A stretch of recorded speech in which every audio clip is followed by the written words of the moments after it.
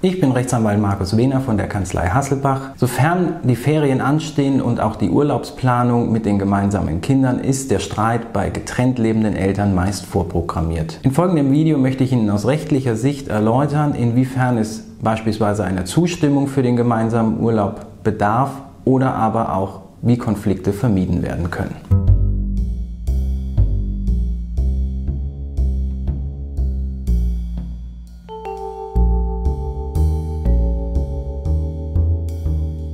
Im Normalfall behalten beide Eltern nach Trennung oder auch Scheidung das gemeinsame Sorgerecht für ihre Kinder.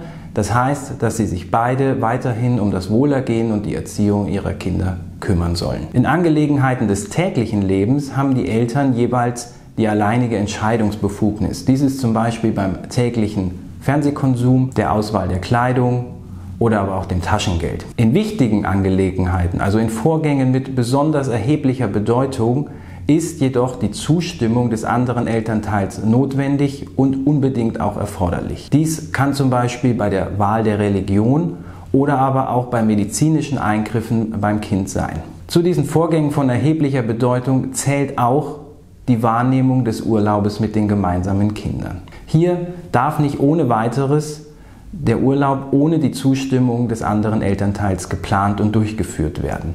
Insbesondere kann es hier auch zu strafrechtlich bewährtem Verhalten führen.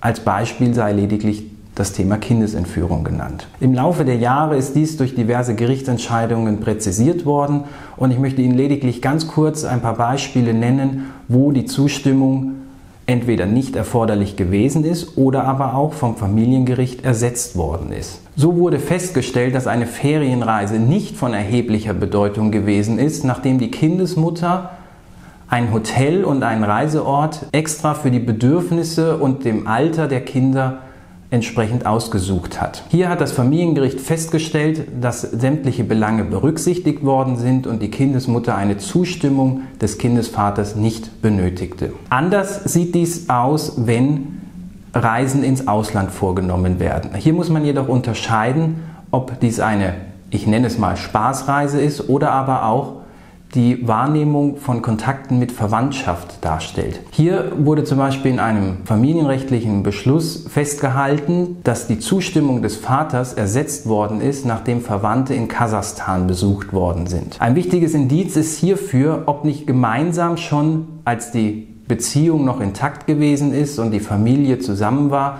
ein Urlaub bereits im Ausland vorgenommen worden ist. Wenn dies der Fall gewesen ist, so spricht meist wenig dagegen, dass Kindesmutter oder Kindesvater erneut in dieses Land reisen dürfen. Jedoch gilt zu beachten, wenn die Reisen ins Ausland gehen, wo durch die politische Situation eine Gefährdung für das Kindeswohl bestehen könnte.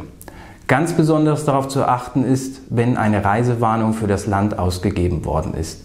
Hier bedarf es grundsätzlich selbstverständlich der Zustimmung eines Elternteils, aber die kann auch durchaus verweigert werden, wenn eben, wie gesagt, das Kindeswohl beeinträchtigt werden könnte. Auch hilft hier der Gang vor Gericht nicht oft weiter. Anders sieht dies natürlich bei Tagesausflügen aus. Dies sind alltägliche Entscheidungen und dürfen von einem Elternteil alleine getroffen werden, insbesondere der Besuch des Zoos oder eines Fußballspiels. Jedoch gilt auch hier zu beachten, dass der Ausflug altersgerecht sein sollte. So können Sie beispielsweise mit einem 14-Jährigen unproblematisch in einen Freizeitpark fahren, während sich dies wohl mit einem Säugling verbietet. Voraussetzung ist immer, dass der Ausflug altersgerecht ist und dem Kindeswohl am besten entspricht. Klassenfahrten gehören, sofern sie kurzweilig sind, zu alltäglichen Entscheidungen und dürfen ebenfalls von einem Elternteil alleine getroffen werden. Anders sieht dies natürlich bei Schüleraustauschen im Ausland aus, sofern diese auch langfristig angelegt sind. Hier ist es unabdingbar, dass beide Elternteile dem Schüleraustausch zustimmen. Bei Meinungsverschiedenheiten über das Reiseziel oder aber auch die Dauer des Urlaubes oder sogar bei einem Umzug eines Elternteils sind vorrangig unter den Eltern zu klären und können mit einer sogenannten Sorgerechtsvereinbarung geklärt werden. Hier vereinbaren im Falle des Urlaubs die Eltern am besten, wohin die Reise geht und den Abflug oder Abfahrtstag und den Ankunftstag. Dann ist zwischen den Kindeseltern geklärt, wo die Reise hingeht und die Meinungsverschiedenheiten sind auf ein Minimum reduziert. Vielen Dank für Ihre Aufmerksamkeit und bis bald.